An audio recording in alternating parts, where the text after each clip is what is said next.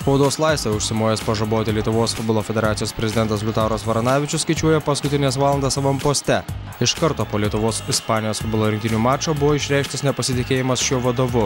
Nekartą federacijos veiklą kritikavęs futbolo treneris Gediminas Paberžis džiaugiasi, kad pagaliau vadovo vieta bus užleista tiems, kurie pasiryžę jį atgaivinti. Sužinojau šią žinią, norėčiau tikrai palinkėti uh, Liutaurui Varanavičiui sėkmės uh, sveikatos gyvenime, gal ir sėkmės uh, politikoje, čia jo jauno žiūra.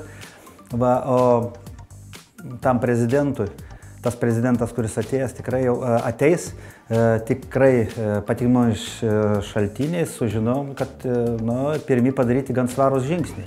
Mm, tarpininkaujant čia Maskvos Spartako klubui, tarpininkaujant.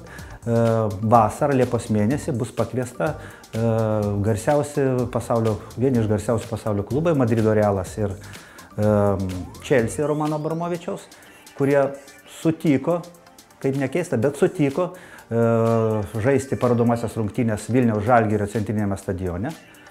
Na, kokios ten bebūtų kokybės jinai, jie vis dėlto pasišventė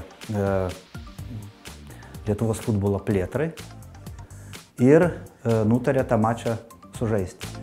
Futbolo mėgėją Liutauro Varanavičių prezidento poste turėtų pakeisti kitas futbolo mėgėjas Aleksandras Pogrebnojus, kuris žada kardinalius pasikeitimus Lietuvos futbole.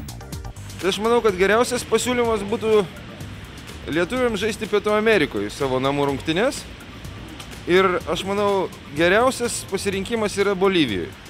Nes yra vis tiek 4 ar ten 3 tūkstančiai virš jūros lygio, ilga kelionė. Manau, kad geriausias variantas. Bent prieš nieką nepraloš, o to labiau, kad nieks tai ir nematys. Lietuvoje reikia palikti, kad tik moterų futbolą. Reiškia, nes moteris yra gražios, o kad jos praloš, nieks vis tiek nesvarbu per daug. O po to pradėsi laiminėti. Ir aš manau, kad Lietuvoje palieka moterų futbolą, o visą vyrų iškeliam į Pietų Ameriką. Ir netgi galima būtų ir, ir Lietuvos čempionatą ir vykdyti Pietų Amerikoje. Deja, su vis dar einančiu pareigas Lietuvos futbolo federacijos prezidentu Liutauru Varanavičiumi susisiekti nepavyko.